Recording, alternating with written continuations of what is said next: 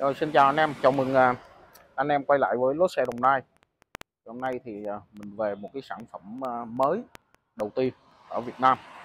Đó là cái lốt 235 45 18. Mã gai là UC7. UC7 là thế hệ mới nhất của Continental Đức tại khu vực châu Á Thái Bình Dương ha. Cái 235 45 18 này thì nó dùng cho nhiều dòng xe như là Lexus ES350, Toyota Camry và Hyundai Kona. Thì ờ, Continental này nó là một thương hiệu lốp xe của Đức. Uh, chuyên lắp lốp theo xe cho Mercedes, Audi hoặc Porsche. Thương hiệu này là số 1 tại châu Âu ha các anh em ha.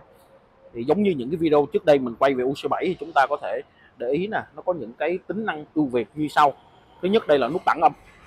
Đó Continental nó trang bị cái nút tản âm trên bề mặt gai lốp xe.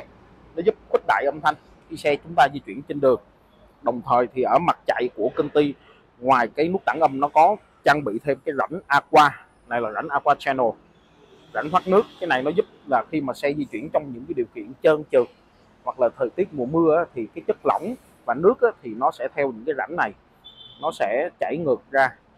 Những cái rãnh lớn song song này, từ đó nó tăng cái diện tích tiếp xúc giữa cái khối vai lốp này với cái mặt đường. Từ đó thì nó nâng cao cái cái cái độ bám đường và mình sẽ có cái cái quãng đường phanh rất là tốt khi xe di chuyển trong điều kiện chân trượt ngoài ra thì chúng ta có thể để ý là cái uh, 235 45 18 Continental này thì nó thiết kế cái phần hông lốp lõm sâu nè. Đó hông lốp lõm rất là sâu này nó có tác dụng là chống chày mâm ha bảo vệ cái mâm xe của chúng ta. Chỉ số chịu tải của xe rất là cao 98V extra low nè về giá bán thì uh, Continental thì uh, 235 45 18 này có giá khá là ổn nó khoảng tầm à, uh, 3 triệu 7 một cái. Bên mình thì chuyên tất cả các hàng của Continental. Ngoài công ty thì mình có fan của Nhật nữa và Kenda của Đài Loan. Thì anh em nào có nhu cầu thay lốp xe thì ghé ủng hộ bên mình ha. Rồi mình xin chào và hẹn gặp lại các anh em trong những cái video tiếp theo.